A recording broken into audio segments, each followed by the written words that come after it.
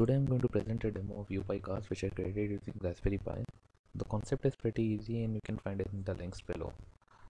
So let's get the API started which my Raspberry Pi will host. So let's move to desktop.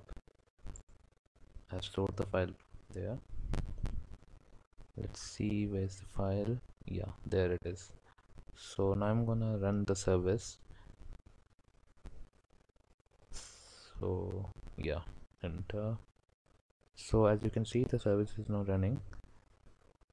So this is the browser and I'm gonna cast the song. So we face an issue here. Looks like we cannot play the song but worry not. Uh, I, I think I have the fix here. So let me just show it to you what actually went wrong. So actually uh, YouTube is hosted on a secure protocol and that's why it's not allowing any request to flow to an HTTP protocol which is actually my local host.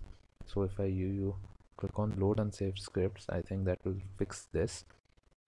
Let's try uh, send to YouPiCast let's move to my pi and see. Okay so it has got the request and I guess it's processing it so the configuration is loaded. Yeah there you go. The song actually started playing on my TV and it actually sounds nice. So let's try with another song here. So I'm back to my Chrome.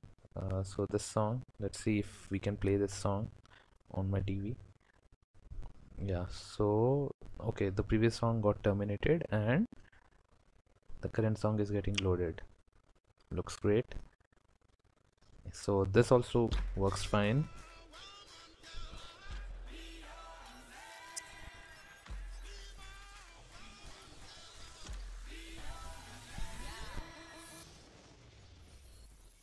So let's see if we can get another song here. Just to be sure if it works with everything. So again right click.